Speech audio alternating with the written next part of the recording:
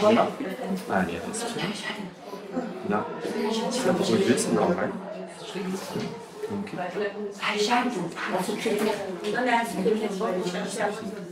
Depuis 8 heures ce matin, les élèves du collège de Champagnat se font vacciner contre le HPV, le papillomavirus, une infection sexuellement transmissible très répandue. Nouveauté cette année, la campagne de vaccination est ouverte aux jeunes garçons. En effet, près d'un tiers des hommes de plus de 15 ans seraient porteurs d'au moins une forme de HPV. C'est une famille de virus qui est très fréquente en Nouvelle-Calédonie, puisque la plupart des gens, 80% des gens le croisent au cours de, leur vie, en particulier les jeunes.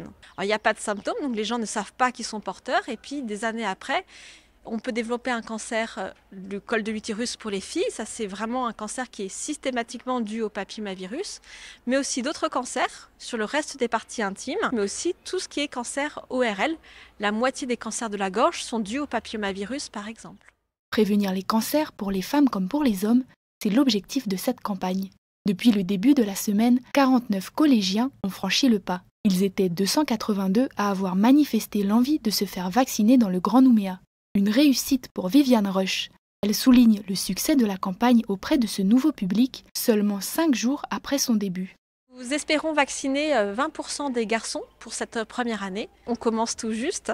Euh, on est à un taux environ 18% pour l'instant. On verra à la fin de la campagne euh, quels sont les... quel est le taux final. Une campagne gratuite qui se poursuit jusqu'à la mi-novembre.